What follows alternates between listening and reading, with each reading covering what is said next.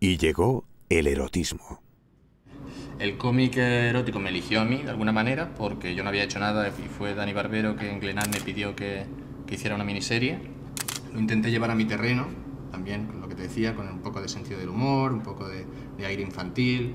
Eh, han pasado los años, yo he seguido haciendo cómic erótico, supongo porque a mí me ha sido muy fácil, porque siempre ha habido alguien dispuesto a comprármelo o a, a, a pedirme que continúe con las series. Y vamos, ha salido de manera natural, supongo que como muchas veces las cosas que salen de manera natural pues funcionan y se mantienen hasta que, hasta que dejan de serlo. Mangaka.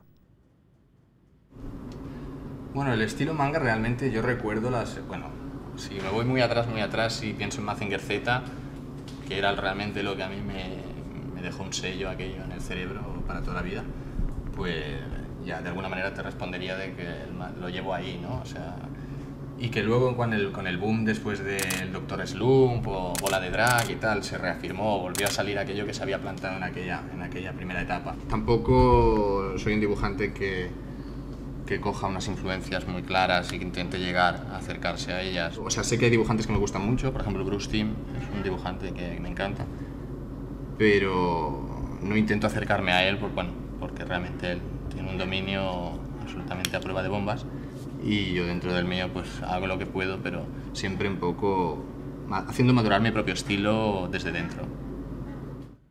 Algo que contar. Yo la verdad es que ahora estoy en un momento de mi vida que no, no, no tengo la necesidad de explicar ninguna gran historia, ni tengo ningún, ninguna gran aspiración. La vida tiene muchas más cosas que no solo lo profesional.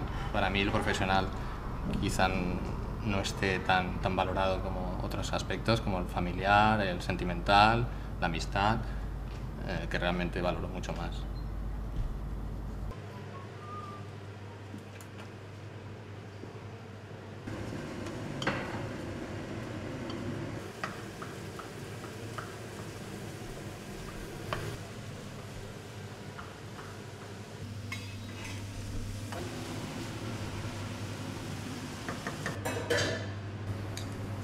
Bueno, pues lo de comer aquí en casa ya ves. La gracia supongo es que te haces lo que te apetece, pero puedes caer en una rutina culinaria muy, muy agobiante. ¿no? Yo la verdad es que como soy, ya digo, bastante perezoso en este sentido, acabo haciéndome siempre un plato de pasta que de hecho no es tan elaborado como este. Yo me haría un plato normal con huevo y, y atún. No sal, no hay Y con eso y mayonesa sería feliz. Tienes que ir al súper y tener la nevera siempre un poco en condiciones, porque si no, llega un día que comes torradas con foie gras y ya no es plan.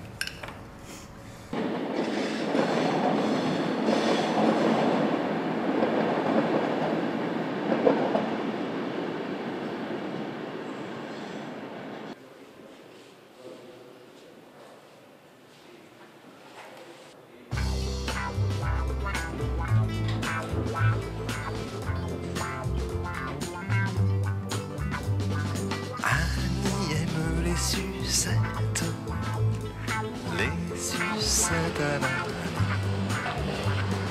les Sussetana, Dani, donne à ses baisers un goût anisé lorsque le sucre d'ange.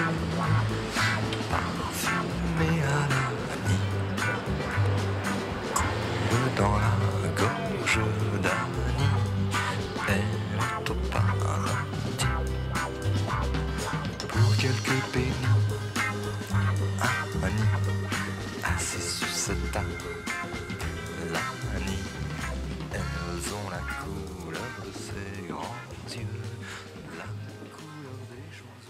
Había monstruos por todas partes.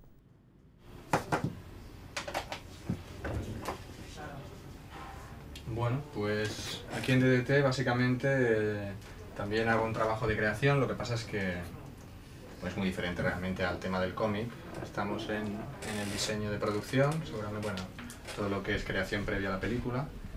Y también colaboro con ellos a nivel diseño gráfico, bueno, diseñar algunos dípticos, eh, toda la campaña que hemos hecho para, para promocionar la película El laberinto del fauno de cara a los Oscars. Y ahora estamos haciendo unas postales para, para, bueno, para repartir en un simposium que van a hacer eh, el día previo, creo, a la entrega de los Oscars. Lo primero es el equipo.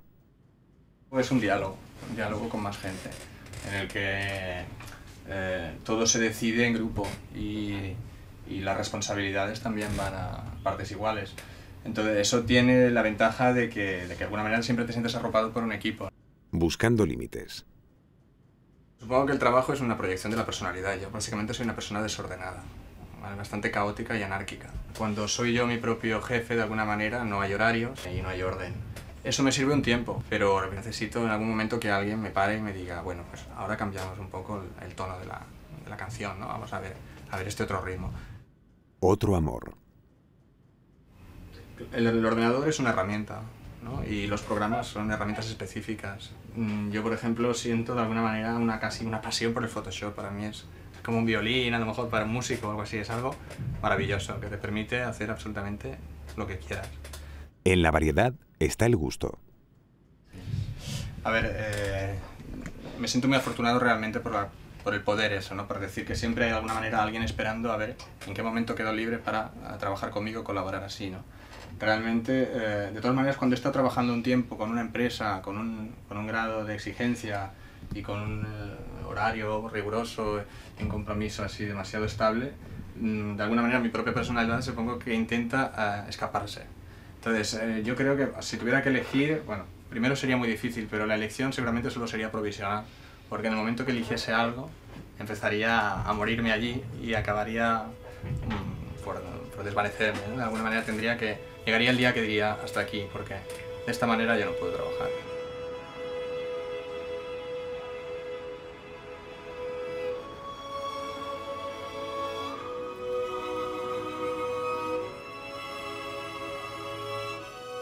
Mañana.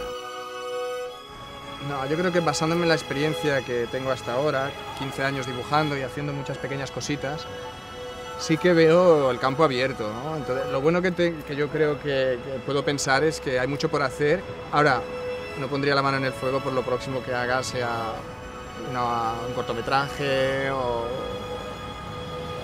sea una obra de teatro, música, porque todo creo que está por hacer todo se puede reinventar, todo se puede llevar a tu terreno con nuevos programas que te lo pongan fácil. Y entonces esa es la gran incógnita y de hecho es lo interesante de- del día a día, ¿no? De, no saber mañana cómo puede sonar la flauta.